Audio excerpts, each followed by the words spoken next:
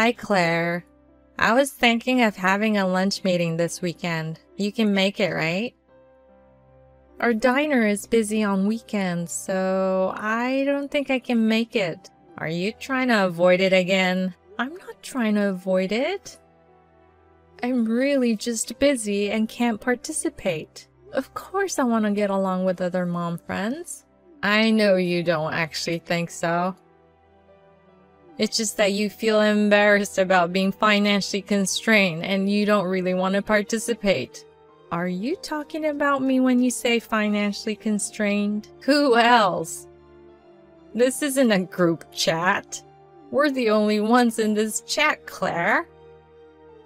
We're not actually struggling as much as you seem to think, you know? it's not easy to survive just managing such a small diner, is it? That's not true at all. It's true that our diner is small, but it's always busy and we've been making a profit all along. Even if you're making a profit, it's still nothing considering how small your business is. You always dress like you're struggling financially. And I even saw you eating dinner at a convenience store once. As for my clothing, I dress comfortably for work-related reasons. When there's a special event, I dress up appropriately. Yeah, but I doubt that you have any designer clothes in your closet. Just because I ate at a convenience store doesn't mean I'm poor, and I don't think it's any of your business where I eat. I find it amusing to watch people from different social class than myself. If you look down on people with such prejudice, you'll eventually face consequences. What? You, a poor person, dare to threaten me? First of all, we're not poor. If you keep looking down on me like that, I will stop being your friend. No, you can't. Why not? because the boss mom's orders are absolute. You must attend the lunch meeting this weekend. No excuses. But I said I can't because our diner is busy. If you refuse to attend, I will tell my son to exclude your son from his group. Wait, children have nothing to do with this. If you don't want to involve your precious child, then you must attend the lunch meeting. Fine. Can I just show up for 30 minutes? Fine. I guess I can let you off the hook with that. Thank you. By the way, there's something I wanted to say. What is it? The upcoming lunch meeting will be at a high-end Japanese diner, so dress appropriately.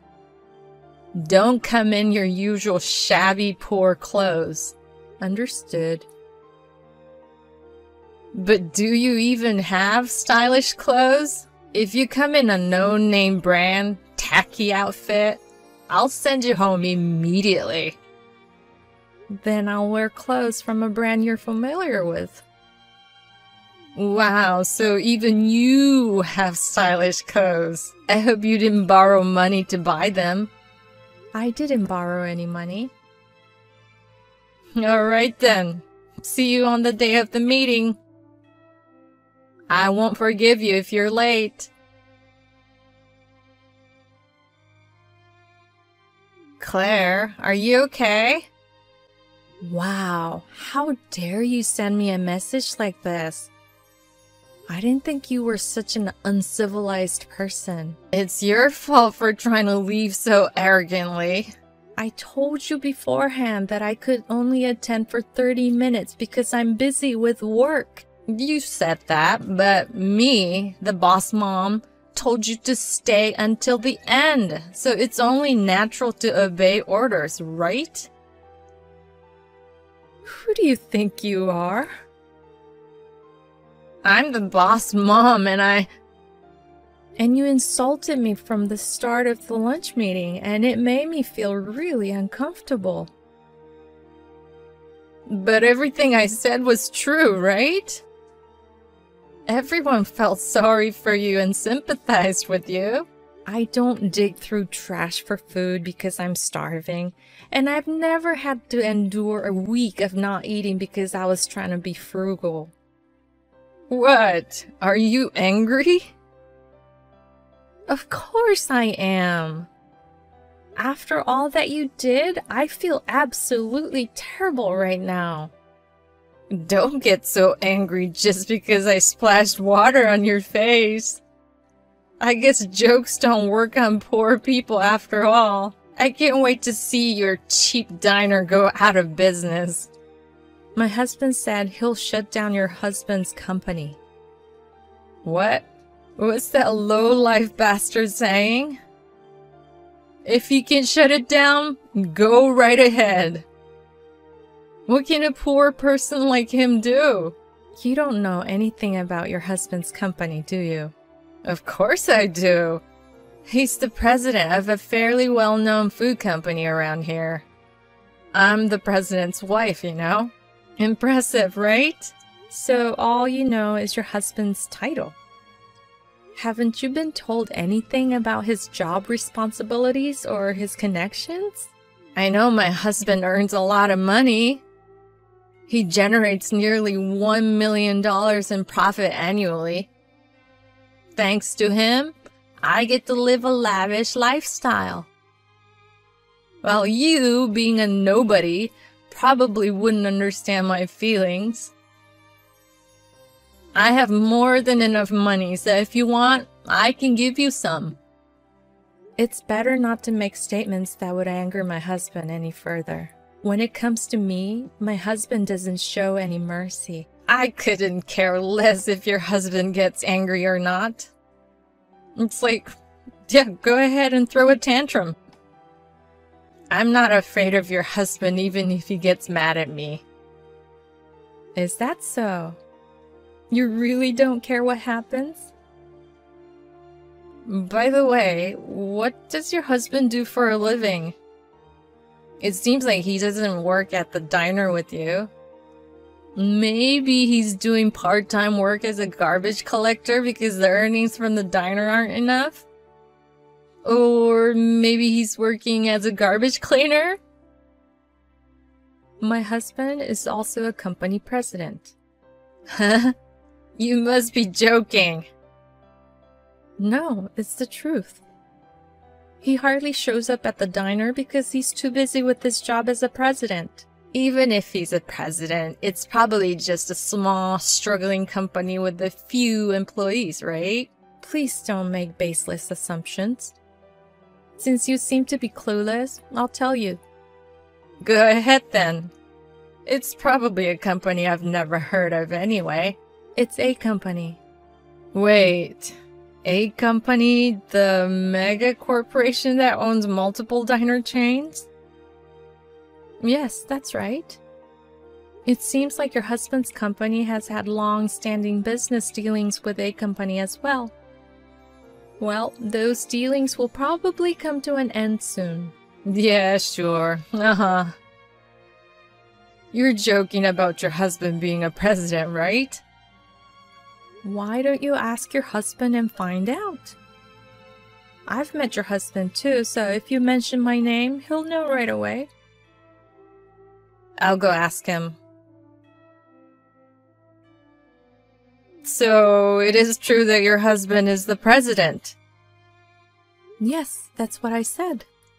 My husband said he's going to your husband's office from now on. It looks like you should be prepared for what's coming. Wait a minute. What is he planning to do? I think he's going to talk about canceling the deal. Our company's dealings with your husband's company account for nearly 80% of your business, so if this deal is canceled, it'll be a big problem. Then why not just do business with other companies on better terms? I don't think there are many companies that can offer better conditions than my husband's company. Besides, my husband's company is well known in the industry, so if word gets out that the deal is cancelled, other companies may not want to do business with you either.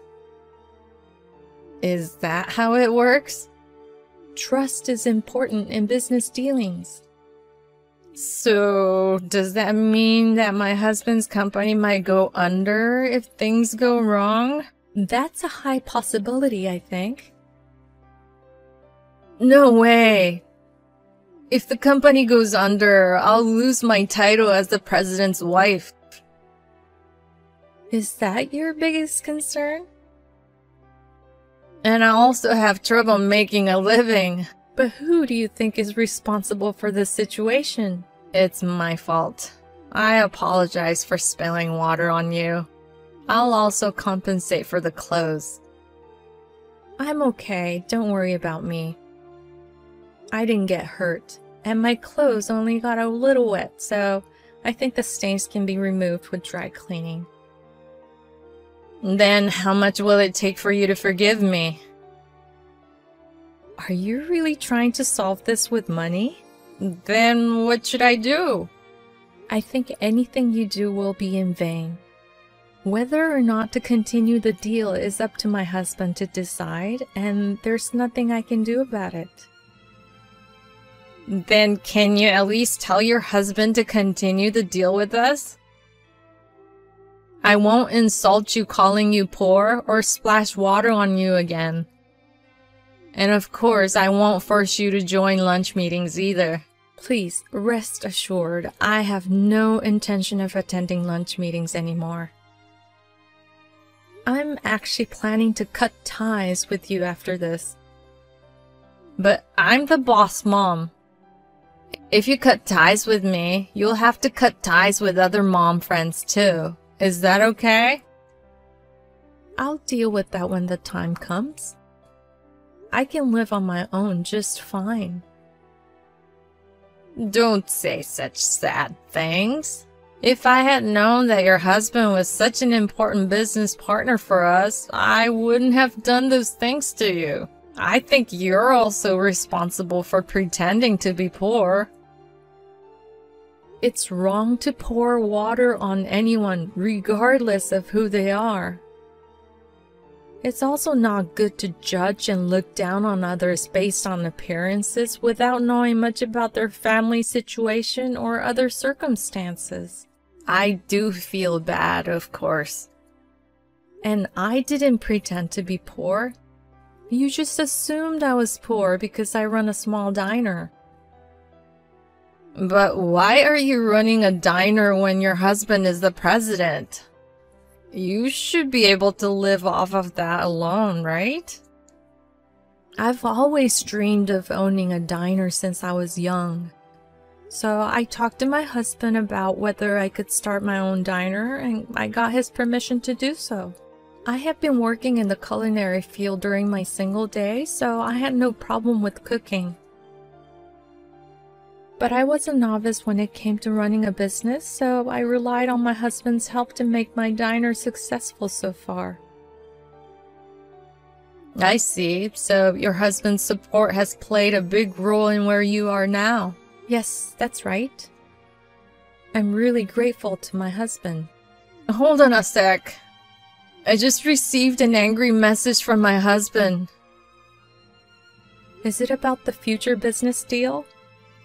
He's blaming me for potentially losing the contract with the A company. He's asking me how I'm going to fix it. It's understandable for him to be angry. Your actions may lead to the company going bankrupt. Please, I'll do anything. Just don't cancel the contract. If you do, other employees might hold it against me. I'm not an employee of a company, so I don't have the authority to decide whether to cancel the contract or not. We'll have to wait for the result of the discussions between our husbands. But... Please, can you pretend the contract cancellation never happened? I told you before, I can't do that even if you asked me. It's a decision made by my husband. And on top of that, my husband has started talking about divorce. How is divorce related to the cancellation of the contract, though? Aren't those two separate issues? I think my husband is getting angry and talking about divorce because of me and the cancellation of the contract. Is that so? Whether to divorce or not is an important issue, and maybe your husband has been thinking about it even before this incident. That's not possible. We were getting along well until now. In any case, it's strange for me to interfere in the relationship between husband and wife, so please discuss and decide on your own. Don't say that. I want you to convince my husband to stop the divorce too. What's in it for me for doing that? Well, probably nothing. I'm not so generous as to help someone who has looked down on me. Whether you get divorced or not, it's none of my business, and I have no intention of helping you. But... It's decided. My husband and I are getting a divorce. He told me to move out within a week. I see. It might not be easy living alone, so good luck to you. Well then. Wait a minute. Don't you have anything else to say? Are you telling me to apologize or something? I didn't say that. I just thought you might show some sympathy. There's no reason to sympathize with you. You planted all the seeds yourself. But isn't canceling the contract too harsh just because I spilled water? My husband's company has many other employees, and if the contract is canceled, they will be affected too. I can't believe even someone like you would consider other people's lives. What's with the tone? Don't talk about me as if I'm an unfeeling person. I'm sorry. I was just surprised. But I think your husband's company will be fine. What do you mean? My husband has decided to continue doing business with your husband's company. Really? But didn't you say it was cancelled before? After that, your husband came to my husband's office multiple times and apologized. My husband was moved by his sincerity and decided to continue the business relationship on certain conditions. Conditions? It seems that one of the conditions is to keep you away from me. So you're saying that my husband decided to divorce me for the sake of the company's survival? I think that's what it means. My husband didn't explicitly ask for a divorce, but it seems like your husband wanted to completely sever ties with you. That means it's your husband's fault. Please stop blaming others like that. Weren't you doing whatever you wanted, even at home? That's not true. I was doing what I had to do. But I often saw your husband taking care of your son on weekends, and it seemed like you were neglecting household chores and childcare. Your son was even saying at school that you didn't cook for him. And he said that your husband is better at cleaning, so he does it. What? My son said that at school? And you always dressed in expensive brand clothes, so you must have been freely spending your husband's salary. Well, we're married, so isn't it allowed for a wife to use her husband's salary as she pleases? Even so, there should be limits, don't you think? But if we divorce, how am I supposed to live? My husband has custody of our son, and I've been asked to pay monthly child support. In that case, you'll have to work and earn a living. But I've been a housewife since we got married. It's impossible for me to learn a job and work now. Even if you think it's impossible, you have no choice but to do it. Oh, I just had a good idea. I have a feeling that your good idea might not be so good. How about I work at your diner? Unfortunately, we're not hiring, so you can't. Don't say that. How about hiring me at an hourly wage of $50? There's no way I could afford to pay you $50 an hour. Besides, I don't even pay that much to other employees. But we're mom friends, right? Can't you at least do me a favor? What are you talking about? I never considered you a friend to begin with. I have no intention of hiring you, and I don't plan on keeping in touch with you from now on. Wait a minute. Are you saying you're going to block me? Yes. Until now, I kept you around because of our kids, but if you're getting a divorce, there's no need for us to have any relationship. It doesn't seem like being involved with you would be a good thing, so I'm going to block you. Please don't block me. I'm already being kept at a distance by other mom friends, and if you abandon me too, I'll have no one on my side. It's your own fault. You've treated mom friends like slaves. You need to change your behavior so that you don't end up in the same situation again. Don't say such sad things. Please, just don't block me. Well then, best of luck to you. Goodbye. After that, I immediately blocked Kelly. As promised, she moved out of the house when her divorce was finalized. She started living in an apartment and started working part-time as she needed to earn child support and living expenses. She seemed to be scolded by the store manager almost every day as she had never worked before. By the way, it seems that her ex-husband's company continues to do business with my husband and their relationship is better than before.